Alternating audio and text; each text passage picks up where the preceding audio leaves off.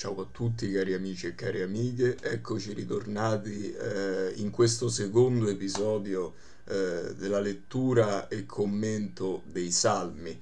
L'altra volta eh, ho letto e commentato il salmo numero uno, Beato l'uomo, eh, dove abbiamo visto diciamo anche quelle che sono le condizioni no, della beatitudine per vivere secondo la legge di Dio e per non mettersi sulla strada empia che andrà in rovina no? oggi andiamo a vedere il secondo salmo che è chiamato il re messia dunque innanzitutto ecco nello scorso video ho tralasciato un particolare. Allora, nella Bibbia siamo abituati, la Bibbia sappiamo che è parola di Dio, perciò nel, leggendo la Bibbia e meditandola dentro di noi siamo soliti sapere che è Dio che nella scrittura parla all'uomo. I salmi invece sono un libro diverso dagli altri perché nei salmi è l'uomo che parla a Dio, componendo delle preghiere in chiave poetica, no? Dunque, il salmo numero 2, il re Messia, è un salmo di tipo messianico, è, è anzi è il salmo messianico per eccellenza ed è uno fra i più celebri, fra i più importanti di tutto il Salterio Dunque, mh, mm, qui in questo salmo si esalta la speranza di Israele, no? Nell'attesa del Messia, della sua potenza che è alimentata da Dio. Dunque, incomincio la lettura. Perché le genti congiurano? Perché invano cospirano i popoli? Insorgono i re della terra e i principi congiurano insieme contro il Signore e contro il suo Messia. Spezziamo le loro catene, gettiamo via i loro legami. Se ne ride chi abita i cieli, li schernisce dall'alto il Signore. Egli parla loro con ira, li spaventa nel suo sdegno io l'ho costituito mio sovrano sul Sion, mio santo monte. Annunzierò il decreto del Signore. Egli mi ha detto, tu sei mio figlio, io oggi ti ho generato. Chiedi a me, ti darò in possesso le genti e in dominio i confini della terra le spezzerai con scettro di ferro, come vasi di argilla le frantumerai. E ora, sovrani, siate saggi, istruitevi, giudici della terra. Servite Dio con timore e con tremore esultate. Che non si sdegni e voi perdiate la via, improvvisa divampa la sua ira, beato chi in lui si rifugia. Dunque, qui vediamo innanzitutto questo salmo ci mette davanti a due tipologie di persone. Da una parte quelle persone che si sottomettono a Cristo, al Signore e alla sua legge, e dall'altra quelle persone eh, che pur magari dichiarando pubblicamente di sottomettersi a Dio e alla sua legge, poi però eh, nella sostanza non si sottomettono al Cristo, al Messia.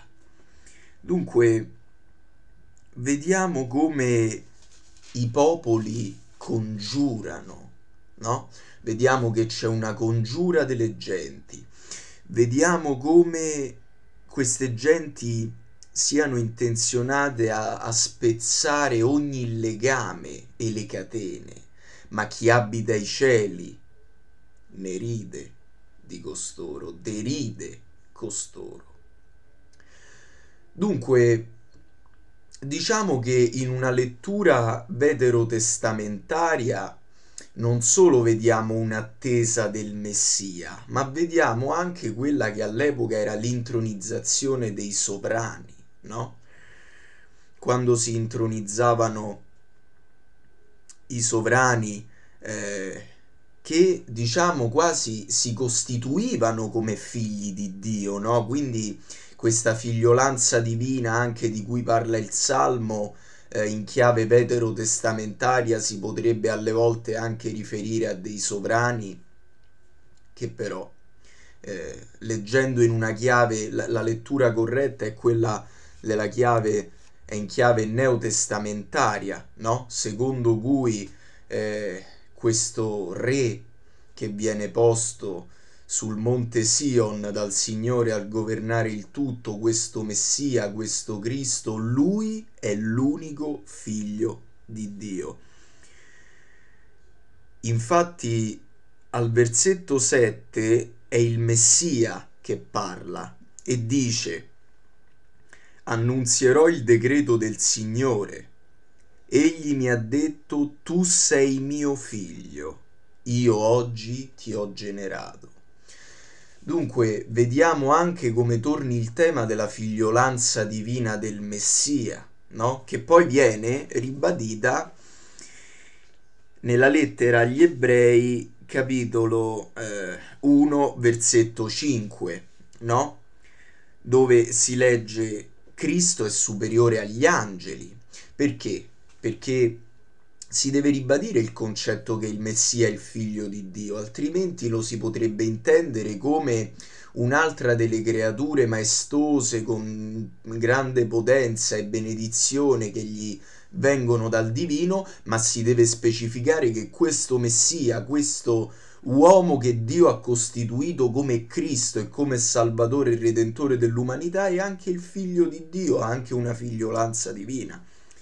Infatti si legge in lettera agli ebrei 1.5 Cristo è superiore agli angeli. Infatti a quale degli angeli Dio ha mai detto tu sei mio figlio, oggi ti ho generato? A nessuno. Quindi questo vi fa capire eh, la singolarità della figura di questo uomo che Dio costituisce come Cristo e Messia e la sua singolarità nell'essere figlio di Dio. E ancora, io sarò per lui padre ed egli sarà per me figlio. E di nuovo, quando introduce il primogenito nel mondo, dice lo adorino tutti gli angeli di Dio e mentre degli angeli dice è lui che fa i suoi angeli come venti e i suoi ministri come fiamma di fuoco, del figlio invece afferma il tuo trono, o oh Dio, sta in eterno e scettro d'equità è lo scettro del tuo regno. Hai amato la giustizia e odiato l'iniquità, perciò ti unse Dio, il tuo Dio, con olio di esultanza più dei tuoi compagni, e ancora, tu, Signore, da principio hai fondato la terra, e opera delle tue mani sono i cieli. Essi periranno, ma tu rimani. Invecchieranno tutti come un vestito. Come un mantello li avvolgerai, come un abito, e saranno cambiati. Ma tu rimarrai lo stesso e gli anni tuoi non avranno fine. A quale degli angeli poi ha mai detto siedi alla mia destra finché io non abbia posto i tuoi nemici come sgabello dei tuoi piedi? Non sono essi tutti spiriti incaricati di un ministero, inviati per servire coloro che devono entrare in possesso della salvezza? Quindi vedete l'unicità di questo Cristo che a differenza di, tu- di, tutte le altre creature da Dio create, come gli angeli che sono anche le creature a lui più vicine, questo Cristo è unico perché è il suo figlio diretto, di cui Dio è padre e lui è figlio. Poi, sempre eh, in ebrei eh, capitolo 5 versetto 5 eh, chiamato Cristo vero pontefice si legge Nello stesso modo Cristo non si attribuì la gloria di sommo sacerdote, ma gliela conferì colui che gli disse Mio figlio sei tu, oggi ti ho generato. Come in un altro passo dice, tu sei sacerdote per sempre, alla maniera di Melchisedec. Dunque, vediamo come... Eh, tornando al Salmo numero 2, il Signore abbia costituito questo Cristo sovrano sul Sion, che è il suo santo monte, no? E, e, qui parla il Messia dicendo appunto io annunzierò il decreto di, del Signore, il Signore mi ha detto tu sei mio figlio, io oggi ti ho generato e, e poi viene esaltata quella che è la potenza del Messia. E poi alla fine del Salmo leggiamo un invito ai sovrani della terra ad essere saggi, no? A istruirsi, a servire Dio con timore e ad esultare con tremore, no? Che Dio non si sdegni e voi non perdiate la via. Anche perché l'ira del Signore divamperà improvvisa. No? E qui si ritorna anche al concetto del Salmo primo che dice la strada dell'Empio andrà in rovina. Beato chi in Dio si rifugia. Beato chi in Dio si rifugia. Perché in Dio c'è già la vittoria e c'è la completezza del tutto in Dio non si deve...